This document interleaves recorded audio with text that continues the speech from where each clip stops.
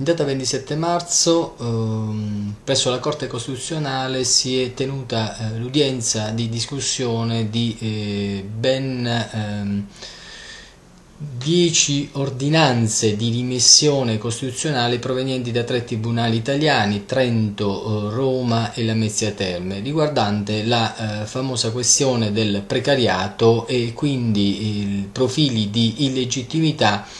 eh, di norme eh, italiane nei confronti di eh, articoli della nostra Costituzione, quindi è stato chiesto ai giudici della consulta se, ehm, con particolare riferimento alla legge 12499 e una legge eh, della provincia di Trento, se queste norme fossero conformi ai principi costituzionali. In buona sostanza eh, sono le norme citate norme che eh, riguardano l'attribuzione di supplenze annuali fino al 31 agosto su posti vacanti. Eh, in quella data quindi si è discusso della eh, questione relativa eh, alla, eh, ehm, al profilo di legittimità di queste norme non, mh, mm, con riferimento non solo alla come detto alla illegittimità costituzionale delle stesse, ma eh, con riferimento anche al mancato recepimento della direttiva 9970 che eh, come sappiamo um, tutelerebbe eh, i, contratti a termine anche all'interno dello Stato italiano. In eh, quella sede, in buona sostanza, sono state rappresentate alcune questioni eh, allo Stato um, fondamentali, come appunto la questione della precarizzazione dei docenti e non solo, perché le ordinanze di dimissione guardavano anche le categorie del personale ATA e dei docenti di conservatorio, quindi potremmo dire tutta la platea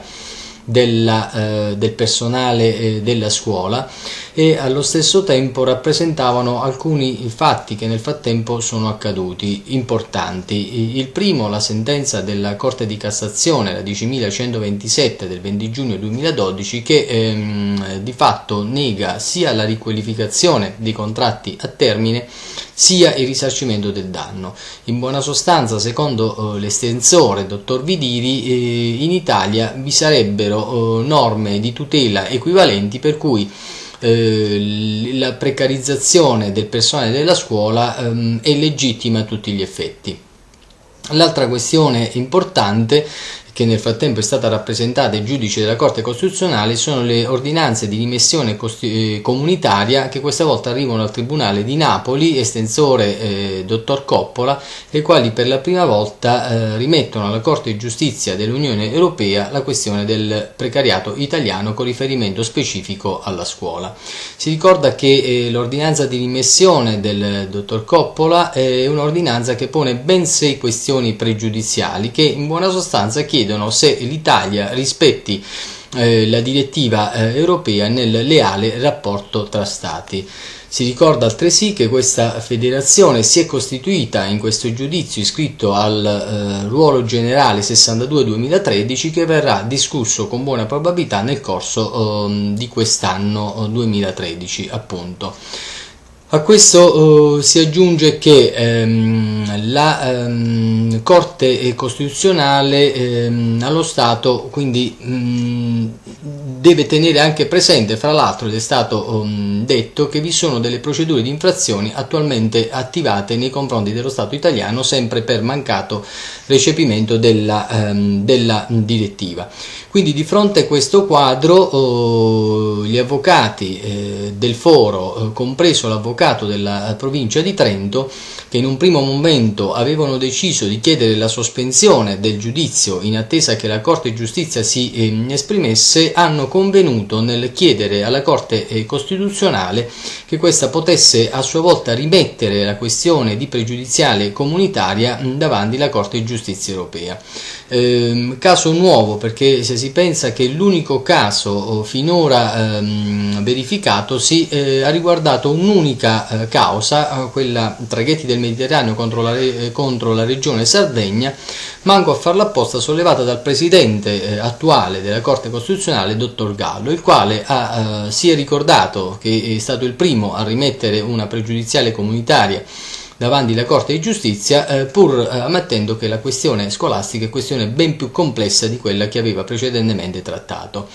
Eh, dopo una ampia udienza cui, nella quale l'avvocatura ha rappresentato, ecco, in buona sostanza, mh, tutte queste questioni che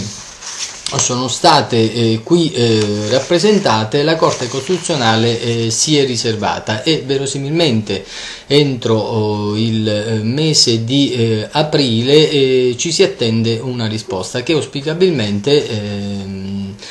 speriamo possa essere eh, di rimessione comunitaria. Questo perché? Perché eh, l'avvocatura ha, ha aperto, o ha tentato meglio di aprire un barco, nel senso che eh, ha, um, invocando il necessario dialogo orizzontale tra le giurisdizioni superiori, ha eh, rappresentato che sarebbe opportuno che anche la Corte Costituzionale eh, si rimetta a eh, principi che la Corte di Giustizia vorrà eventualmente individuare eh, al fine di risolvere ormai la eh, patologica questione del eh, precariato, soprattutto con riferimento della scuola, che manco a farlo apposta solo nello Stato italiano non trova alcuna soluzione, anzi è eh, diciamo all'origine di eh, tutta una serie di problematiche di natura eh, sociale, di natura lavorativa che allo Stato pare non interessino e pare che non ehm, ecco, vogliono avere soluzione alcuna.